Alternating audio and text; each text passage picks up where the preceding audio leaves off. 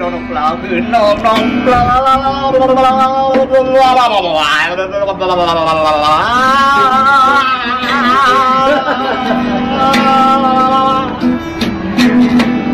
เอออเมริกาแพงมากถ้วยหนึ่งเนี่ยค่ะ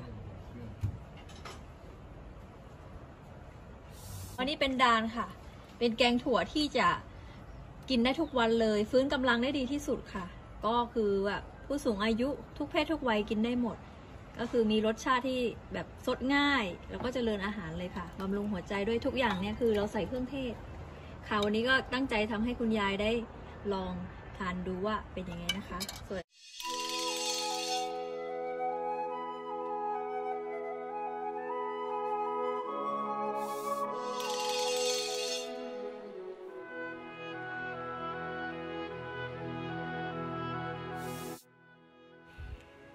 แกงดาน ส่วนประกอบและวิธีทำดาน คือแกงถั่วอาละหาดาน หรือถั่วเมล็ดเล็กอื่นๆ เช่น ถั่วเขียว ถั่วมะแฮะ ปริมาณ1ถ้วยตวง แช่น้ำข้ามคืน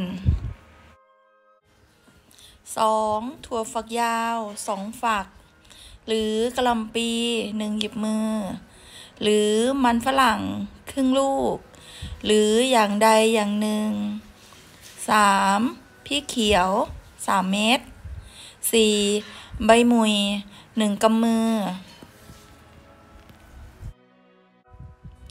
5. น้ำมันมัสตาร์ด3 ช้อนโต๊ะ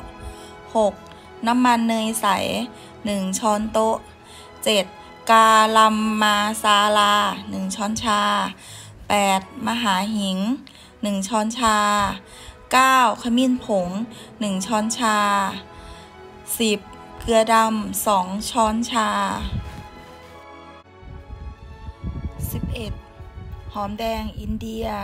หรือหอมไทย 2 หัว 12. ขิงซอยครึ่งช้อนโต๊ะ 13. มะเขือเทศ หั่นเต๋า2ลูก วิธีทำใช้หม้อความดันอินเดีย ตั้งไฟปานกลาง ใส่เนยใสลงไป เมื่อร้อนจัดให้ใส่น้ำมันมัสตาร์ดเมื่อน้ำมันร้อน ให้ใส่มหาหิง กับเม็ดยีหร่าน เจียวให้เหลือง จากนั้นให้ใส่ใบหมุยลงไป ตามด้วยพริกเขียว หัวหอม ขิงสด เจียวทุกอย่างให้เหลือง จากนั้นใส่ถั่วฝักยาวหั่นท่อน ผักให้สุก แล้วใส่เกลือดำผงขมิ้นชัน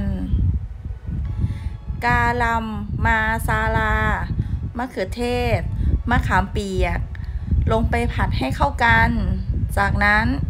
นำถั่วลีสงไปผัด สักครู่จึงเติมน้ำสะอาด 3 แก้ว ปิดฝาหม้อความดัน และตุนให้ถั่วสุกเปื่อย ให้ไอ้น้ำพ่นออกมาจากหม้อความดันประมาณ 4 ครั้ง และเมื่อเปิดฝาหม้อ ถ้ามีไม้บดให้ใช้ไม้บดบดถั่วปั่น ไปมาให้ออกซิเจน ลงไปในแกง จะทำให้ได้รสชาติที่กลมกล่อมอย่างเหลือเชื่อ วิธีกิน กินกับข้าวขัดขาวร้อนๆ โดยราดแกง บนข้าวให้ชุ่ม หรือกับจาปาตี ตามด้วยโยเกิร์ตธรรมชาติและเครื่องเคียง